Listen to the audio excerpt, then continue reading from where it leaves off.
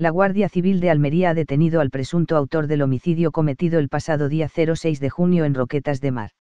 Los agentes de la Guardia Civil tuvieron conocimiento el pasado día 06 de junio a través del Servicio de Emergencias 112, de la muerte violenta de una mujer de 43 años de origen subsahariano en la localidad de Roquetas de Mar.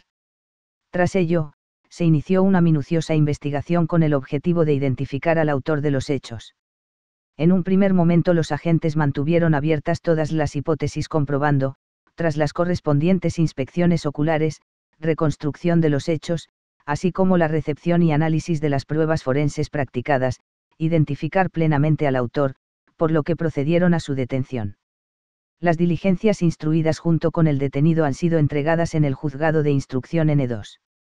De Roquetas de Mar, Almería, que mantiene el secreto de sumario y decreta el ingreso inmediato en prisión del detenido.